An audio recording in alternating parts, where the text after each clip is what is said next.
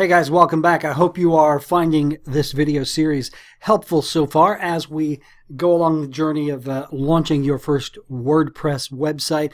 Uh, in this video, we're going to talk about posts and pages, and we will cover uh, how are they similar, how are they different, when you should use a post rather than a page, and that sort of thing. The main difference is this. A page is a static page, meaning it is a page that's going to be on the website that rarely changes. It's there just more for informational purposes than anything.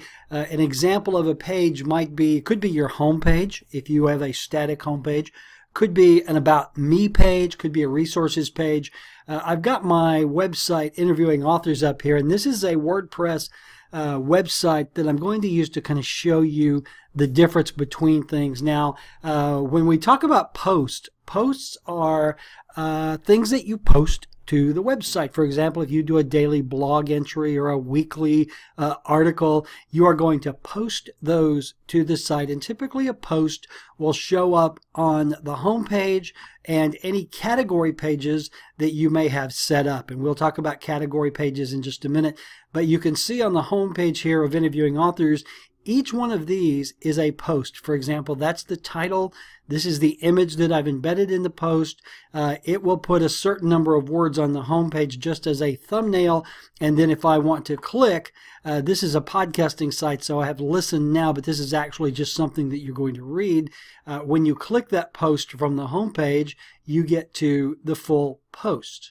Okay, so again, as I go back to the home page, you're going to see uh, there's uh, several hundred posts uh, that have been done to this website over over the years. So, but as you scroll down, a post is it's like a blog entry, a data or a, a diary entry, that sort of thing. You post it to the website, and if you have your template set up to show it on the home page, which we will cover, you will see the post here. So just keep in mind, a post is like it's a blog entry. It's not like it. That's exactly what it is. It is just a post that you post to the website. A page is a static page that sometimes doesn't change at all. For example, on this website, the About page is a static page. This isn't a blog post.